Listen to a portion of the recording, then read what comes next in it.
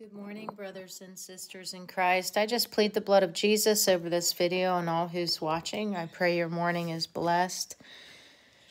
I want to share with you um, Revelation 21 again. The Holy Spirit gave me a vision, and um, I believe it's a very encouraging vision for the body of Christ. Um, so I went to a women's. Uh, like Bible study retreat last Friday. And I've been praying about sharing this vision. And um, so the Holy Spirit prompted me to do so. So the, the retreat was about Proverbs 31:10.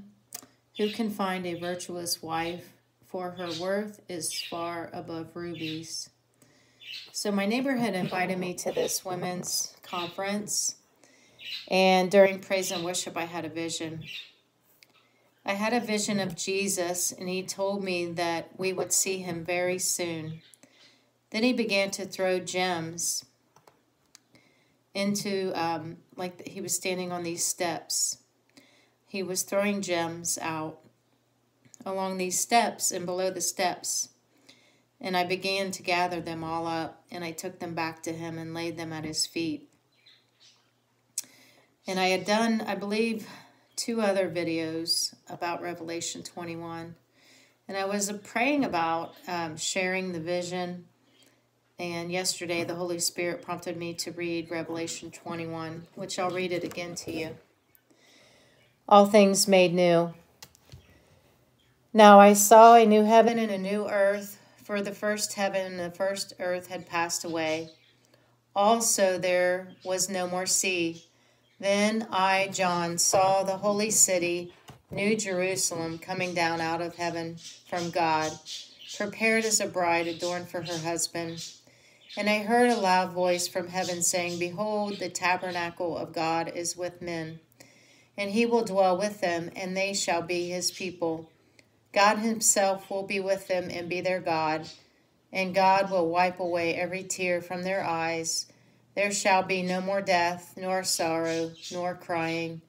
There shall be no more pain, for the former things have passed away. Then he who sat on the throne said, Behold, I make all things new. And he said to me, Write these words are faithful and true. And he said to me, It is done. I am the Alpha and the Omega, the beginning and the end. I will give of the fount fountain of water of life freely to him who thirsts.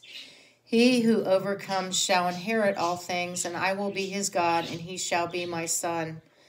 But the cowardly, unbelieving, abominable, murderers, sexually immoral, sorcerers, idolaters, and all liars shall have their part in the lake which burns with fire and brimstone, which is the second death. The New Jerusalem. Then one of the seven angels who had the seven bowls, filled seven last plagues, came to me and talked with me, saying, Come and I will show you the bride, the Lamb's wife. He carried me away in the Spirit to a great and high mountain and showed me the great city, the holy Jerusalem, descending out of heaven from God, having the glory of God. Her light was like a most precious stone, pardon me, like a jasper stone clear as crystal. Also, she had a great and high wall with twelve gates, and twelve angels at the gates, and names written on them, which are the names of the twelve tribes of the children of Israel. Three gates on the east, three gates on the north, three gates on the south, and three gates on the west. Now the wall of the city had twelve foundations, and on them were the names of the twelve apostles of the Lamb. And he who talked with me had a gold reed to measure the city, its gates, and its wall. The city is laid out as a square, its length is as great as its breadth. And he measured the city with the reed, twelve thousand furlongs. Its length, breadth, and height are equal.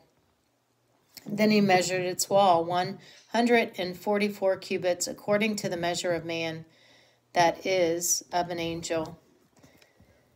Now I'm sharing with you this picture from verse 18. The construction of its wall was of jasper, and the city was pure gold like clear glass. The foundations of the wall of the city were adorned with all kinds of precious stones. And these, you know, the many colors that I saw in my vision, um, I believe are symbolic of all these um, gems in heaven. The first foundation was jasper, the second sapphire, the third chalcedony, the fourth emerald, the fifth sardonyx, the sixth sardius, the seventh chrysolite, the eighth beryl, the ninth topaz, the tenth chrysoprase, the eleventh jacinth, the twelfth amethyst. The twelve gates were twelve pearls. Each individual gate was of one pearl, and the street of the city was pure gold, like transparent glass. I've had a vision of that, by the way. very amazing. The glory of the New Jerusalem. But I saw no temple in it, for the Lord God Almighty and the Lamb are its temple.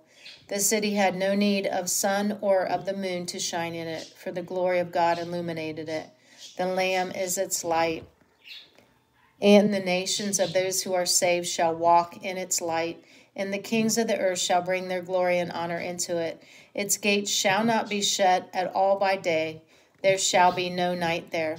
And they shall bring the glory and the honor of the nations into it. But there shall by no means enter in anything that defiles or causes an abomination or a lie, but only those who are written in the Lamb's book of life. I hope this video encourages you today. God bless you. I love you in Christ. Amen.